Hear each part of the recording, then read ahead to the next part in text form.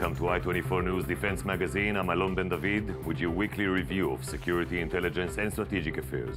In this edition, is the threat of chemical weapons changing? Will internal tensions in Gaza spilling over to Israel ignite the region once again this summer?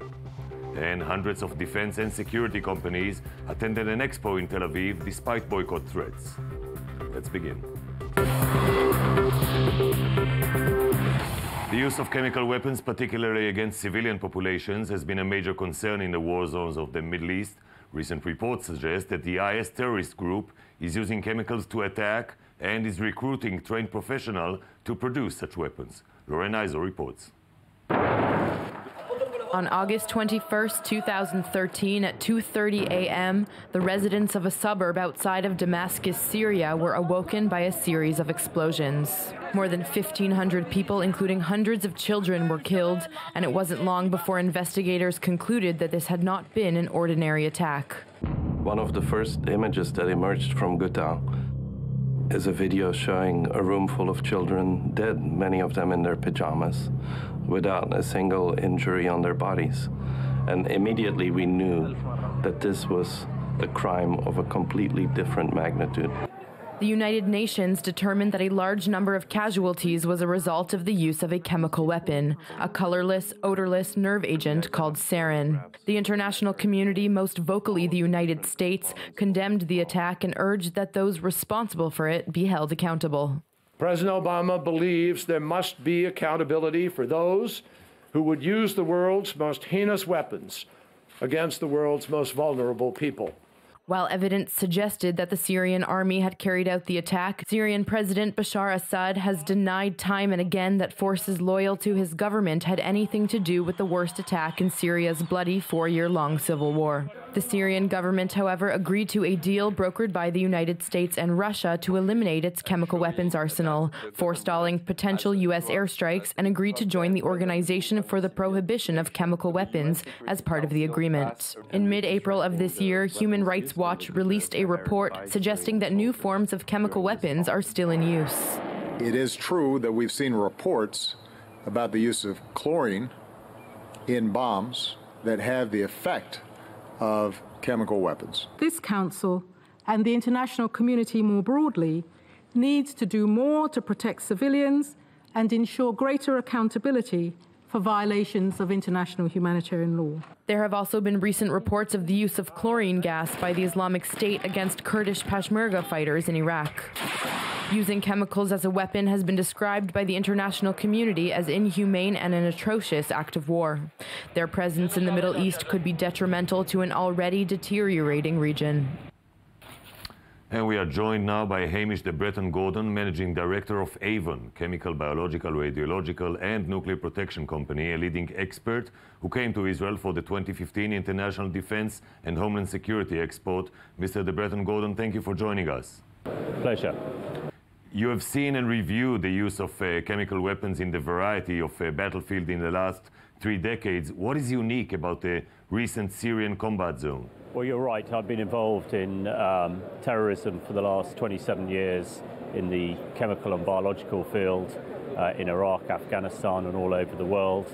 And in the last four years in Syria and Iraq, I think one of the uh, most striking things that I've found, particularly working in Syria uh, with doctors, is the huge psychological impact that the use of um, sarin, the nerve agent, by the Assad regime in August 2013, and more recently his use of chlorine, which is just a, a toxic chemical, has had on the population. Um, and although they're not as poisonous or toxic as nerve agents like sarin and VX, it's had the psychological impact to terrify civilian populations in Syria and in Iraq.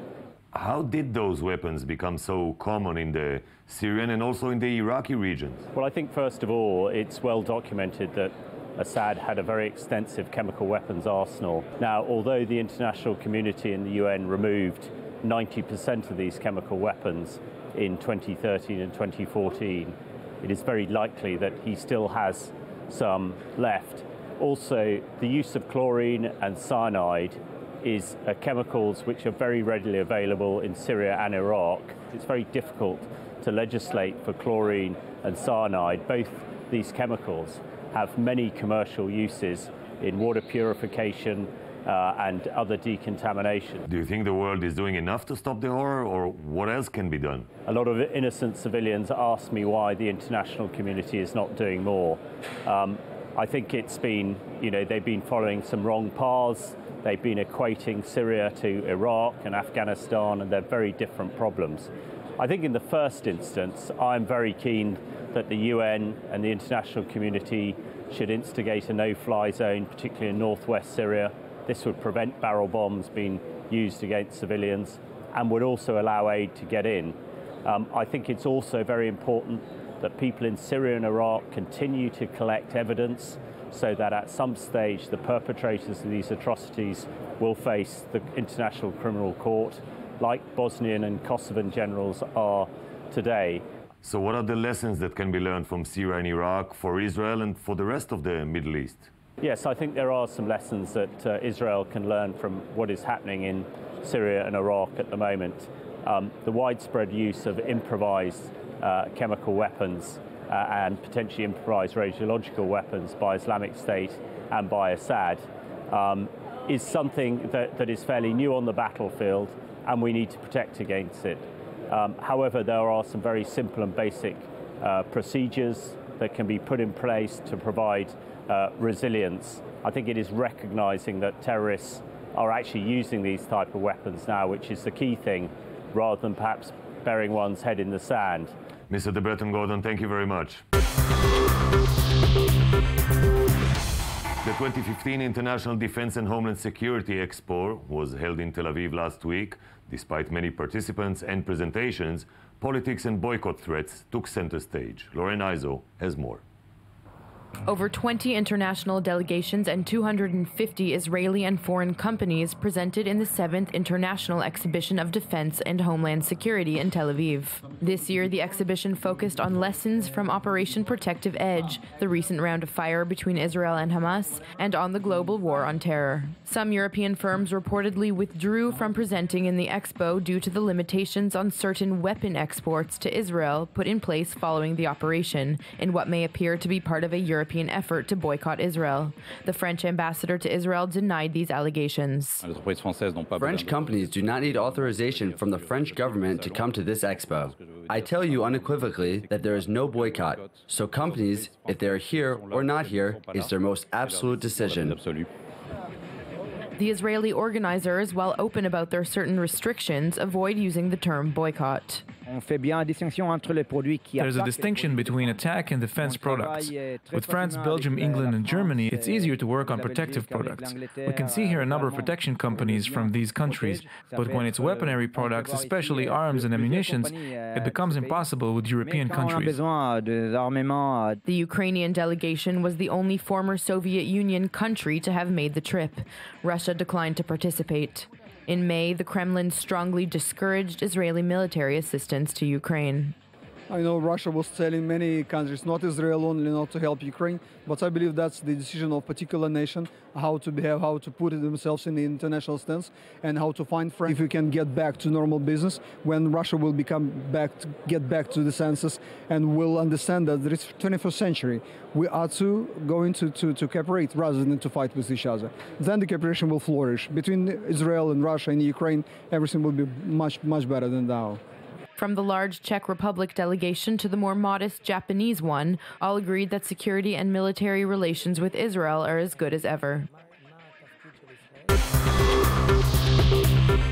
Hamas's relationship with Salafi jihadi groups operating in Gaza has led to a series of clashes between Hamas and self proclaimed ISIS affiliates operating in the Strip. With several rockets fired at Israel, these tensions trickle to Israel who so far responded moderately. Will the growing tension develop into another summer of fire? Before we discuss these questions further, a quick reminder of recent events. Peace and quiet continue to elude those living on both sides of the Israel Gaza border as violence has erupted once again. Rockets were fired into southern Israel, setting off sirens in the city of Ashkelon, the town of Netivot, and other locations. The rockets landed in open areas, causing no casualties and no damage. Israeli warplanes responded with airstrikes in the Gaza Strip. The Israeli military said targets including militant training camps, while Palestinian sources claimed sites belonging to the military wing of Hamas were struck. While Hamas may have been the target of the strikes, a different group, calling itself the Sheikh Omar Hadid Brigade, claimed responsibility for the rocket attacks. It said it was payback for the killing of an Islamic State militant a day before by Hamas. Israeli Defense Minister Moshe Ya'alon released a statement saying Hamas was responsible for anything that happens in the Gaza Strip even if those shooting were in fact rebelling against the militant organization. For its part, the group said on Twitter it would continue its jihad against the Jews and would not be deterred. And joining me now in the studio is Avi Issacharoff, uh, Times of Israel's and Walla News Middle East analyst. Thank you for joining us. Thank you, Alon. When we look at ISIS present in the Gaza Strip, we are talking about individuals and organization. How many? It's not even ISIS. I mean, they decided to call themselves ISIS just in the last couple of weeks. Before that, they were kind of uh, a branch of Ansar Beit al Maqdis. But when Ansar Beit al Maqdis in Sinai decided to become ISIS, so they became ISIS also. But we're not talking about hundreds of people, maybe 100, maybe 200, not more than that, maybe le- even less than that. You know, according to Hamas, it's a couple of tens of people, that's it. With 70 in jail. Yeah, even more. And now they're not organized. They're not really working under one flag, one leadership. Couple of people, a few people that are leading the, the let's say, jihadi Salafist uh, trend inside Gaza. So they're more of a nuisance to Hamas than a, a, real threat to their regime. It's a headache. It's a big headache because they know that they have the ability what to do to strike Israel. Meaning, when they have a quarrel, when, when, when they go on a fight with Hamas, the immediate thing that they do is to push the bottom and to launch a rocket towards Israel, of course. So every time that we see this argument between two Palestinians in Gaza, Israel is the one that is paying the price. But the recent threats that they made didn't realize, they didn't fire. Is Hamas effective in, in stopping their fire? Hamas is trying to be very effective. Now, we know that there's not 100% uh, results, but there is 100% effort. And this is what we see today. Hamas is becoming more Palestinian Authority than what the Palestinian Authority used to be in Gaza Strip. And it's quite amazing to see that the way that Hamas is trying to keep things quiet, kind of the Israeli, the Palestinian border police from the Palestinian side, trying to keep Israel's security. What is the linkage and cooperation between ISIS affiliates in Gaza and Ansar Beit al Maqdis in the Sinai? Well, there's no uh, real connection between ISIS abroad, Syria and Iraq, and Ansar Beit al Maqdis, just idea- ideologic uh, umbrella. I would say that probably you know people are talking on the phone, people probably are sending some messages and uh, and emails, but it's not that they get their orders from Syria or from Iraq. It's not that Abu Bakr al-Baghdadi is calling one man in Sinai and tells him to do this or to do that. Uh, this is a kind of then again ideological trend, and they follow this trend. And what we have seen this last week is a dramatic turn by the Egyptian, who until last week considered Hamas to be a bitter enemy and suddenly are cooperating with them. What made this turn? I don't know if they're cooperating with them. I still hear very concerned voices from Egypt concerning the Israelis, the Israeli policy towards Hamas, Turkey, and Qatar. I mean, I don't know if we noticed that, but Israel is negotiating with Hamas through a Qatari uh, diplomat, Muhammad Al Amadi, and through Turkish delegations that are visiting Gaza Strip from time to time. Now, the Egyptians, yes, they changed a bit their policy. I don't know if it's a 180% change, but something is going on. They don't consider them a terror organization anymore. Something is changing through the court, and there is a planned meeting between Khaled Mashal and the Egyptian leadership. He might visit Cairo, and if he will get to Egypt, that's a big change. So Qatar has been trying to mediate between the Egyptians and Hamas? Qatar is trying to mediate between everyone, including Israel and Hamas. So of course, with the with the Egyptians, it's even easier. I think that they don't, the Egyptians do not really need Qatar. For them, Qatar is a threat. They don't like the Qataris. They hate the Qataris, and for them, it's an enemy, just like the, the other Muslim Brotherhood the groups, Hamas, Muslim Brotherhood in Egypt, etc. If they want to talk to Hamas, they have the ways to do it. But can you envision the Egyptians and Hamas working together against ISIS presence both in Gaza and in the Sinai? Not really, not really. I mean, it's still on the long run. I think it's very far from us right now. I think that the Egyptians are cutting off any kind of hopes that they have from Hamas or that they had from Hamas. They know that this is radical Islamists, this is radical Islamists. They understand that, that they might need to be a little bit nicer to Hamas, but not more than that. Many Israelis are concerned that we're going to see another war this summer with Gaza. What's your assessment? My gamble, and it's a wild gamble that we don't see, we won't see another war with Gaza Strip. I think that what we see right now is then again, uh, it sounds almost like a cliche, and we, we said the same thing at the eve of the last war in Gaza. Right now, both sides do not share the interest of escalating, and we see that especially with Hamas that is working and operating just like a branch of the Israeli Defense Forces. So I want to join your hope and thank you very much for coming to our studio. Thank you, Alon. That's all we have time for. Be sure to visit us again next week for another edition of I24 News Defense. For all the latest headlines, log on to www.i24news.tv. Have a safe night from Jaffa Port.